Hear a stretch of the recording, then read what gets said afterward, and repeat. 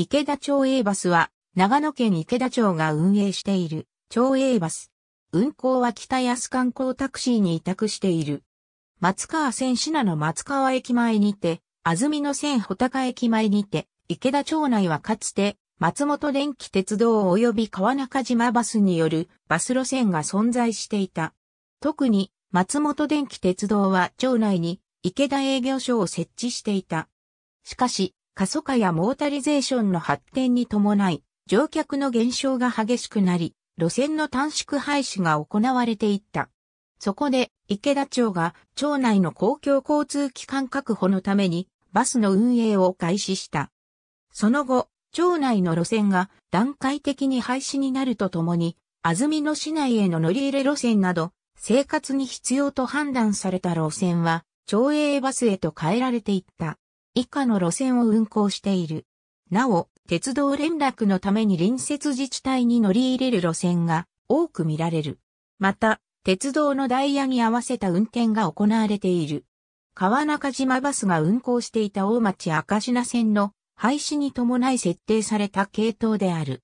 需要は JR 利用者もだが主に赤品高校への通学用としても一役買っている。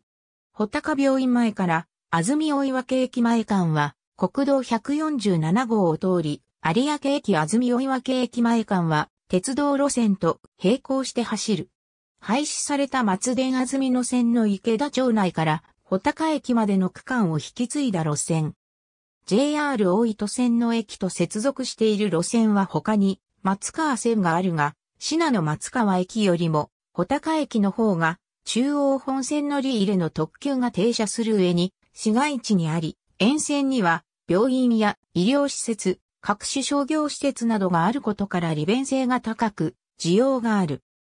池田町と隣接する、生坂村を循環する路線である、報道先回りと三里先回りがあって、全体では両方3本ずつあるが、報道周りは、半在家集落センター始発なので、市街地東バス停間運転がなく、市街地方面では、三里先回りの方が、運行本数が多くなっている。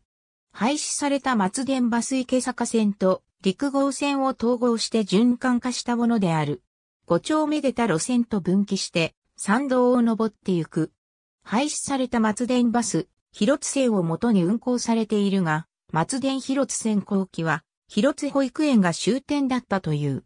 間のだから、日陰は火曜と金曜のみの運行である。なお、津賀の尾より先は、道が狭くなるため、離合が不可能となっている。聖火北で、大町市、ふれあいバスに接続できる。ただし、本数は少ない。廃止された松電バスネズミ穴線の一部を継承。シナの松川駅で JR 線と接続している。他の系統と異なり、土曜日も全便運休となるが祝日と平日は運行される。路線名の通り池田町内のみを一定の範囲、循環する路線。運賃はゾーン制度が採用されている。なお、先払いである。日曜日、1月1日、1月2日は運休する。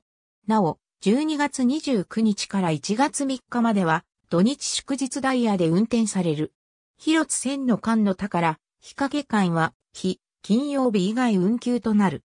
バス停のデザインは、健康風美と書いてあり、その下に、当庁のマスコットキャラであるテルミントフからミンが描かれている。なお、これらは、澄んだ青空の下でてるてる坊主の妖精が遊んでいる様子をイメージしている。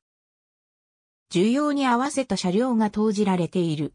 また、車内放送及びアナウンスは存在していないが、降車ボタンが車内にある。しかし、あまり利用されていない。車庫は、安住病院の近くにあり、セブンイレブンの裏手付近に、池田町営バスバスセンターの名称で設置されている。松本電鉄が池田町内で運行されていた頃、池田営業所は現在の五丁目バス停近辺である。